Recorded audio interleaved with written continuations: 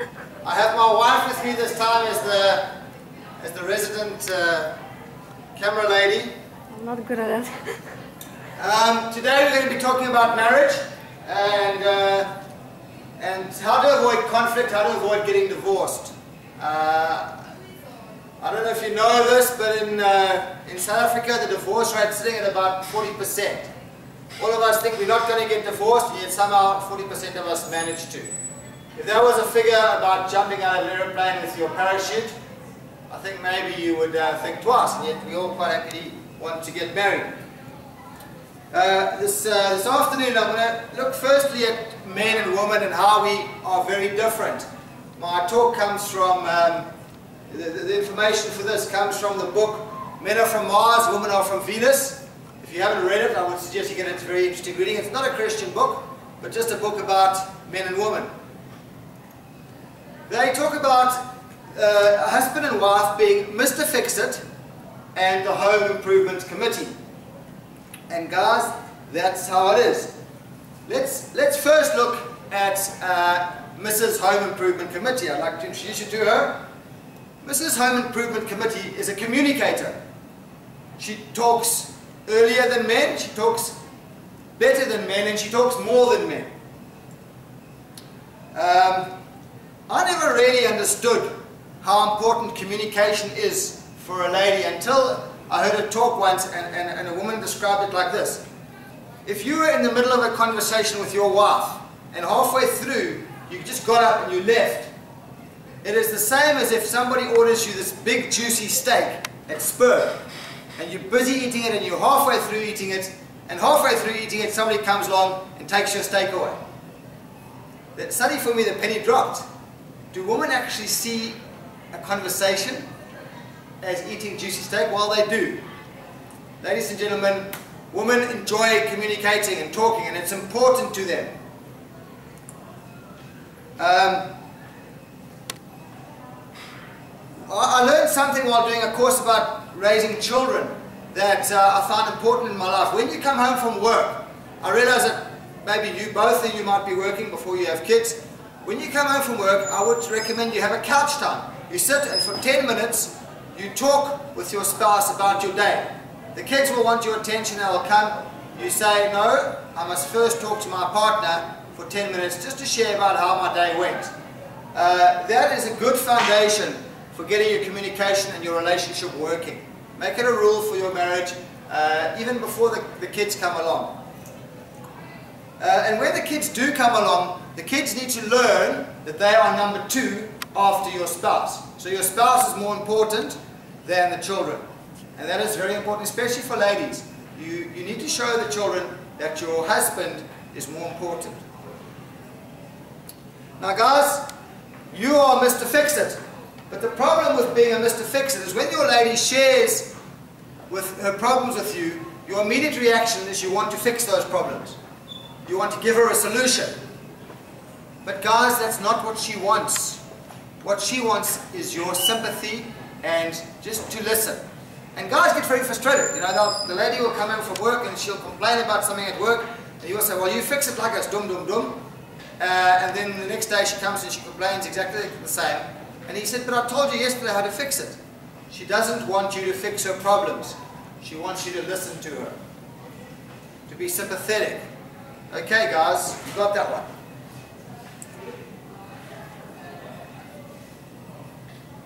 Um, and something else now, which I'm talking to you ladies. You are on a home improvement committee. Uh, you like improving things. There's the joke about the, the, uh, the man who said he bought a, he bought a, a $30,000 cushion for his wife. And this man said, how could a cushion cost $30,000? $30, he said, well, well, we bought the cushion. That was only $10. But we got home, we put it on the couch. And the couch didn't look right. So we, we bought a new couch set. You know, that was $10,000. But when the, we bought the couch set home, the, the, then the TV line wasn't big enough, so we had to extend the wall. So the cushion eventually cost 30000 So ladies, they like to feather the nest and make it, and that's how God's made you. There's nothing wrong with that. But ladies, you have a tendency to want to improve your husbands too. And my advice to you is don't. You see, the problem is men see things as fixed or broken. You like to improve things. If you start trying to improve your husband, what you are telling him, what he is hearing, is that I am broken. And no man likes to be told that he is broken. You don't see it that way, but that's the way the communication is received. You understand? So ladies, don't try and change your husbands. You're not going to get it right. I told you last week, you know, when you get married, it's I'll. You walk down the aisle, you get to the altar, you sing a hymn. I'll alter him. No, you won't. Guys, don't change. Right, let's look at Mr. Fix-It. This man that you married, what's he like? Well, Mr. Fix-It uh, has got a very fragile ego. The Bible says that women, you must respect your husbands. It's not for any other reason that, that that's what guys need. It's important to them. Um, and, and women need to remember this. Uh, let me give you some advice here. If you are going to criticize your husband, and, and, and it goes both ways actually, husbands and wives, there's something called a criticism sandwich. And you can use this in life. In fact, I'm an architecture lecturer, some of you, my students are here, and, and, and when architecture uh, students go for crits, it's a harrowing process, and I try and put in some good things. What a criticism sandwich it goes like this. First, you say something good, you compliment the person, then you slip the criticism in in between, and then you compliment them again. You see how it works? So the person that you're criticizing actually has had two compliments for the criticism that you've given them. It's just sensitive and how you come about your criticism and also time of day. You know, when he gets home from work, it's probably the worst time to give him a criticism. Wait until he's relaxed, he's you know, had a beer or whatever, sitting by the TV and he's a bit more chilled. Then you can talk to the guy. Right, okay.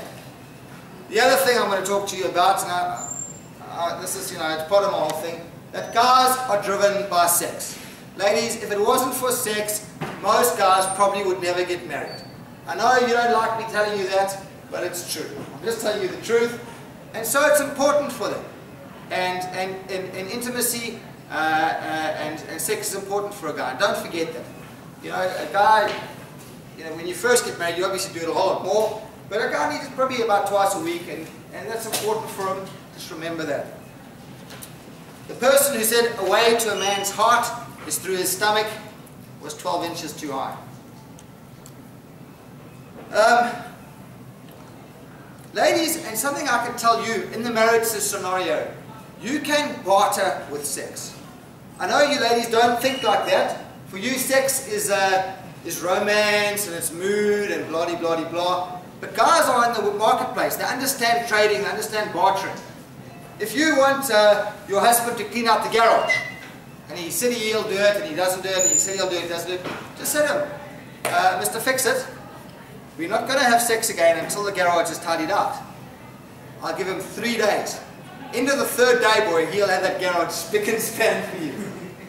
That's the way guys are. And they don't, you know, hold it against you. It's just the way our guys are. I'd like to draw you a little picture here. And it's about what I've just been speaking about, but it's quite graphic.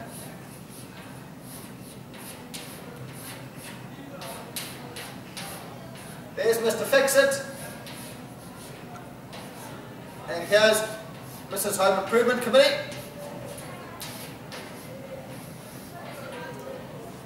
There's their hearts. And there's something else. Now, I like flying. If I want to fly from here to Johannesburg, but there's a very strong wind coming down from Zimbabwe, I know that I need to deviate my flight path to allow for the wind to push me straight back on path. And it works exactly the same in relationships. The guy, here's Mr. Fix-It, that's where he wants to go. Okay? But if he goes directly there, he's not going to get anywhere. He needs to aim for that. If he aims for that, he will end up there. It's like a vector. And ladies, it's exactly the same. I know where you want to go. You want to go there. But the wind is blowing in the other direction. If you want to go directly there, you'll end up there somewhere. You need to aim for that to get that. It's a very graphic illustration, but it works, people. Trust me. Right. I'd like to look at something else now. It's called the, your five love languages. And everybody has one and you will, you'll hear me talking about yourself in these. These five love languages are how people perceive love. If I was to say to you, there's only one person in this room that will understand what I've said is my wife, because she's Russian and I've just spoken to you in Russian. She understands the language and I'm speaking the language. If you speak in a love language which your partner does not listen or understand, they will not perceive it to be love. So let me give them to you. The first one is physical touch. Some people receive love, uh, they feel loved if their partner hugs them, strokes them, you know, gives them a massage, and sex is part of that. The second one is words of affirmation, words of encouragement, you know, saying to somebody, oh, I appreciate you, you're a great guy or you're looking beautiful today. Words, spoken words. Some people like that as their primary love language. The third one is gifts. If you give a gift to somebody, I know my daughter, I have two daughters. I used to do a lot of flying in my business. When I came off the airplanes, I would buy a little packet of sweets for each of my daughters. The one daughter was, wow, thanks dad, you're amazing. The other daughter was, oh, okay. One of them's primary love language is gifts, and it's still gifts. I know that if I buy her a present, she will really feel loved because that's her love language and the other one is, is different. The fourth one is uh, quality time, spending time with your partner. And when you spend time with somebody, you feel loved. And the last one is doing deeds. Now, for me, I cannot understand, doing deeds is not one of my love languages. I don't understand it at all. Remember last week, if those of you here, I was talking about if you do the dishes, you get an 80% more chance of getting it that night. And how that works? Well, it's because your, spot, your spouse may well have a deeds as, as their love language. And they feel loved when you do the dishes. I know it doesn't, it doesn't seem logical to you, but that's not how it works. You need to learn what your partner's love language is, and you need to speak it. Mostly, the, the, the, the, the touch and the words of affirmation are male ones, and mostly uh, quality time and, um, and deeds are female ones, but not exclusively so. They can be any. Uh, and I think guys, if you find a girl whose, whose primary love language is touch, hey, cool. and girls, equally, if you find a guy whose, whose primary love language is, is the same as yours, which is, you know, it might be time or, or deeds, you've got a good thing going. But what you need to do in your relationship is discuss. You need to discuss how you're feeling. Um, and what you can also say, don't say to your partner, oh, I don't feel loved by you. What you can say is that you, you shared about your love language. Did you say, my love tank is empty. Please, I need you to, to, to work a bit on speaking my love language. I don't feel loved. I know you love me, but I don't feel loved. And, and, and communication, as we all know, is a key to, to a successful relationship. Right, okay. Let's, I want to share with you two scenarios which cause divorce. These scenarios come from Dr. James Dobson, if you know him. He's a counselor, psychologist, he's dealt with thousands of cases of marital problems, and he says there are two main ones, and I'm going to give them to you. I've had friends get divorced, and guess what? They fit directly into these scenarios. So let's look at them, let's learn about them, and once you know them, you can avoid them in your life. The, the, the first one is when the, the woman divorces her husband.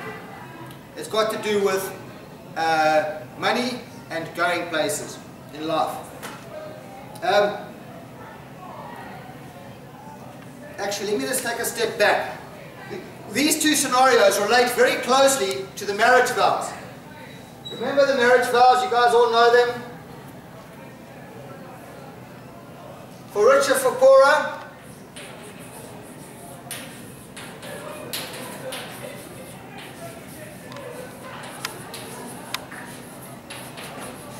in sickness and in health.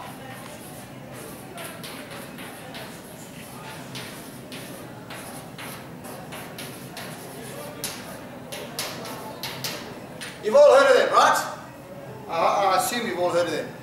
Well, what I need to tell you is that for richer, for poorer, Actually, only the girl needs to say that one, the lady.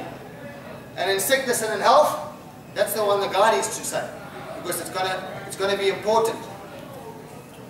You see, what happens is she comes home from work, she's working hard, she's probably got kids as well. He's been unemployed for six months. And he's given up looking for work. He's sitting on the couch in his vest with a beer and he's watching sport.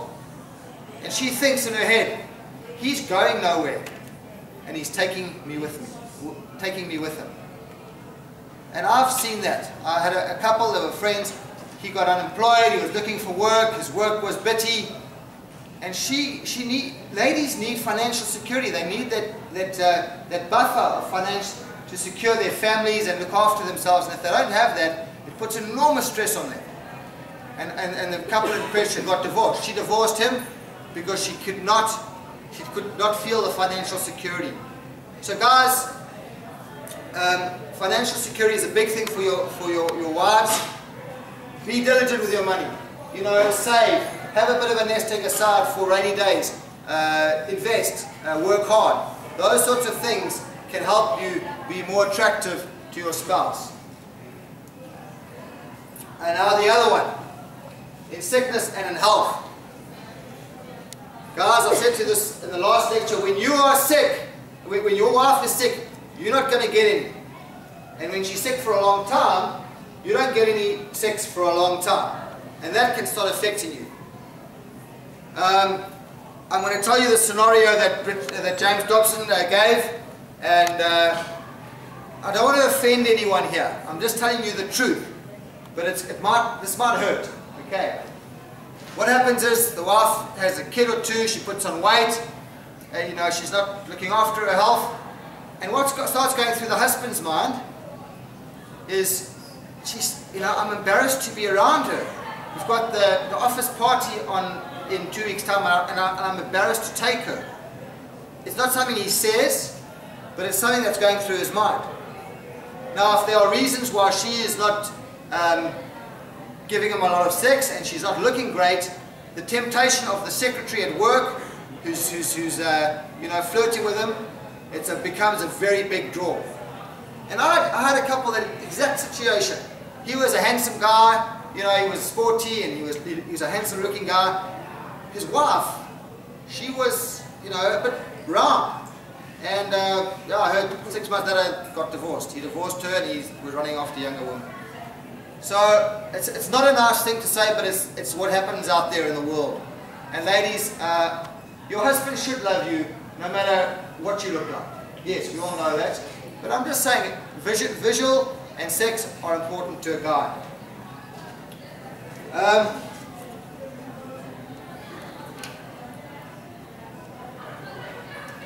right, I want to talk a little bit about agape love. Remember uh, last week we talked about the different types of love? Agape love is a self-sacrificial type of love. And um, it's got nothing to do with fairness. Um, you know, I'm, I'm from English background. You know, we like cricket, we like fair play. And the English think they're the, world, the gift to the world because they bring fairness to the world. But you know that that love, the Christian love that is talked about, the grace, it's got nothing to do with fairness. It might come as a bit of a shock to you. But fairness and grace are different. Grace is when somebody does not get what they deserve. Fairness is what somebody gets what they deserve. Um, there was a story about a, a, a soldier who, who deserted in the army. It was the American Civil War. And they caught him and they were going to shoot him for desertion and uh, his mother wrote to the general and said, Mr. General, um, have grace towards my son, please. And the general wrote back, what has your son done to deserve grace? And she wrote back, he says, if, you say, if you're saying that, then you have no understanding of what grace is. Grace is giving without expecting anything in return. You see, some people think that when they get married, they're going to be happy. Their partner will provide their happiness. That is not the case. You need to be happy and content in who you are now because your partner is not going to give it to you. You may think that they do, but they don't. You need two people who are 100% in a marriage, not two people who are 50% and relying on the other person for their happiness. Um, divorce happens when one person becomes selfish. You see, what happens is the world out there, you know, the cosmopolitans of this world, they tell you that you need to be happy. You have a right to be happy. And when you suddenly become unhappy in a relationship, then you're thinking, there's something wrong. You know, I've married the wrong person.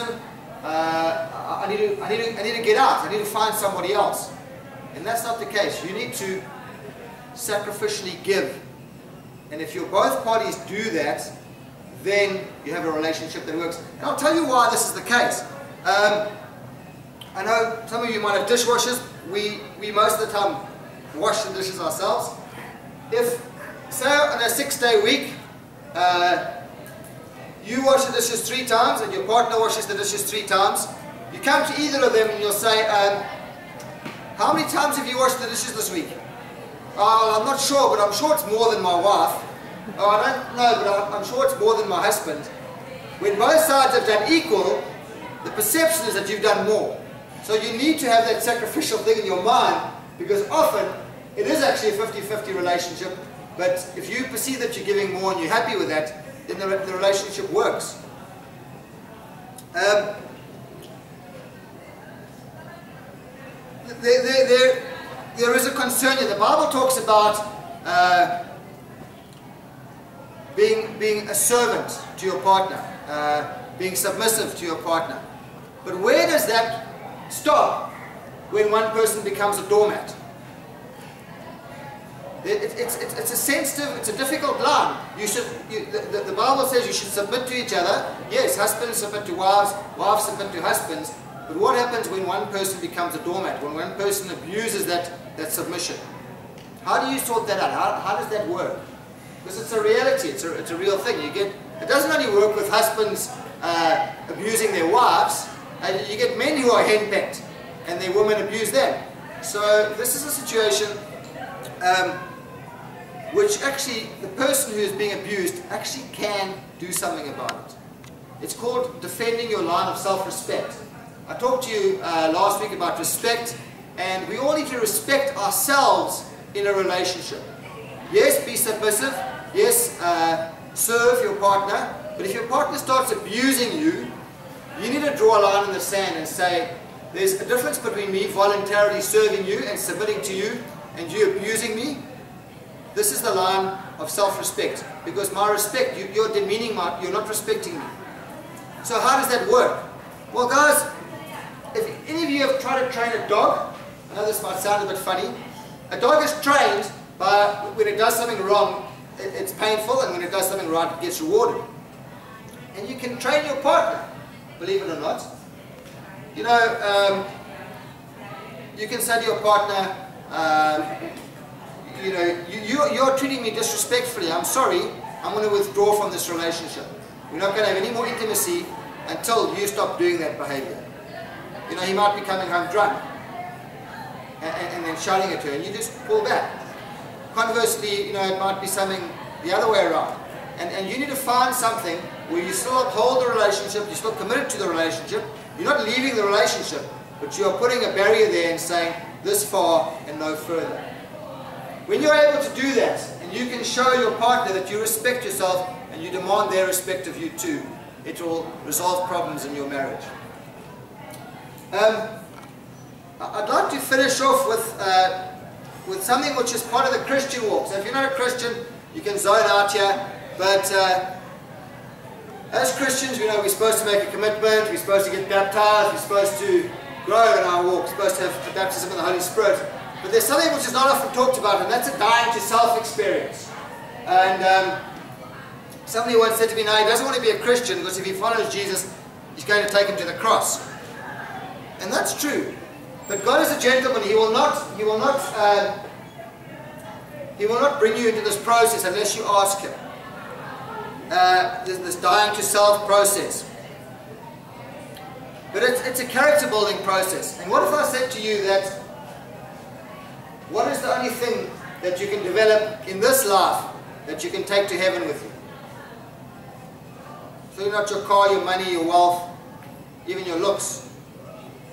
But one thing you can take is your character.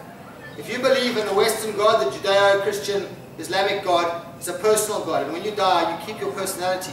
And if you have grown your character while on earth, that mature character will be with you in heaven. That's what I believe anyway.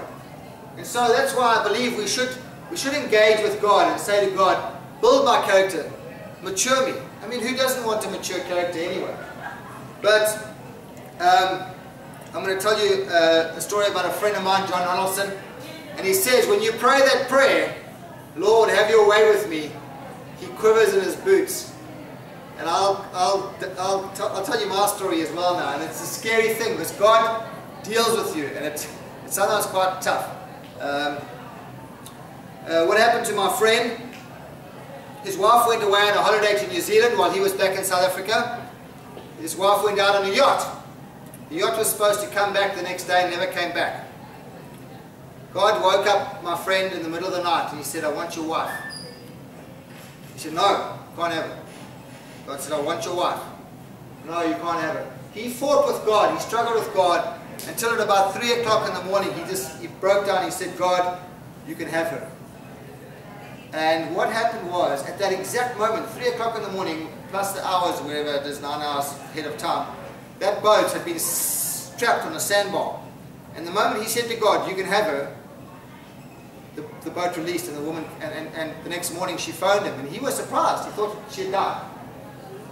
Um, I'll tell you my story. You guys all know that I'm crazy about sex. Well, when I was, when I was young, uh, God woke me up in the middle of the night. And he said, I want you to remain single for your whole life. Man, that was not what I wanted to hear. You know, I'm a real young, strong South African. when I get married and God says, I want you to remain single your whole life. I said, no. I, I, I, I refused. The next morning I woke up, I opened the Bible, I underlined all the places where it says it's good to be married. I went to go see my pastor, he said, no, he doesn't think, but as I, as I thought about it, as I meditated on it, I realized what God wanted me to do was trust Him. So it was as clear as day. One evening, I went down to the pier. It was a cold winter's evening in July. Put on my jacket and I walked out in Durban, one of those piers, and I just, I thought with myself. And I said, do you know God? Yes. Do you trust God? Yes. If He wants me to remain single, that's the best thing. Yes. Accept it? No. and I thought, and I eventually I eventually said, yes, God. I submitted to Him. I, I, I died to myself. And I said, yes, God. And do you know what happened that night, 13,000 miles away, was the, night my wife gave her life to Christ. I had, no idea, I didn't know she existed then, but it was only years later when she was reading through her, di her diary and my diary and she saw the dates that coincided. Once I'd given up my right to have a wife, God was then free to give me one and I met her a few months later. So once we learn to give up our rights as Christians, God is free to act and move in our life. And He will bless your marriage because you are able to live sacrificially in that marriage. Alright. Thanks guys. Any questions? Yeah.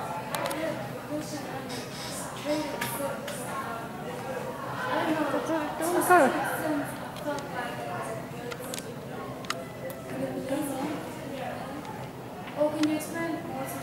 The, the, the, oh, trading for sex. What if the, the man really does not want to go and he sex? And then he said, okay, fine. And then he goes to get sex somewhere else.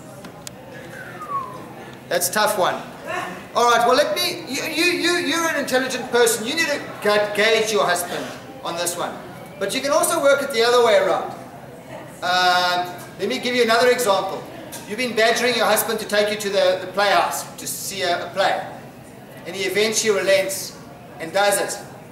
When you get home in the, in the car, you park your car in the garage, before he goes anywhere, you grab him. and You make love in the, in, in the, in the car. Boy, the next day he'll be on the, on the phone to the playhouse saying, um, do you have season tickets? You know, you can do it in a positive way. Um, it, it does sound manipulative, but it's, it's not as uh, a guy doesn't see it that way as much as a woman would see it. And I think, again, be sensitive. Any other questions? Okay, guys, yeah, please. When you get married, throw the word divorce out the window. It's not an option for you. You can get through everything. You make commitments in a marriage because there will be hard times when you will want to get divorced.